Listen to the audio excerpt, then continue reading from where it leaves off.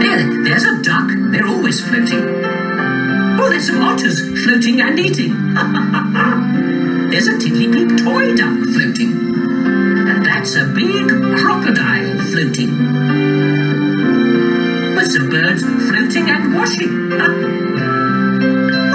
and there's a seal floating. Ducks floating off into the sunset. Well, that's a start. All those things were floating. Yes, but they weren't bright and colourful and squidgy like a hooba bobber. Hmm. And they were floating by themselves and getting very wet. Yes. Oh. That sounds a bit like hooba bobbing. Hubba, hubba. That wasn't much help, was it? I'll tell you what.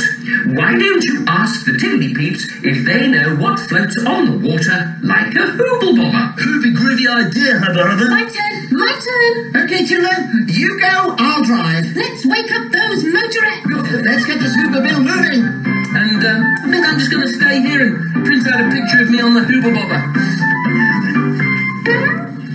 Seatbelts. Seatbelts, we're off to see the tiddly peep.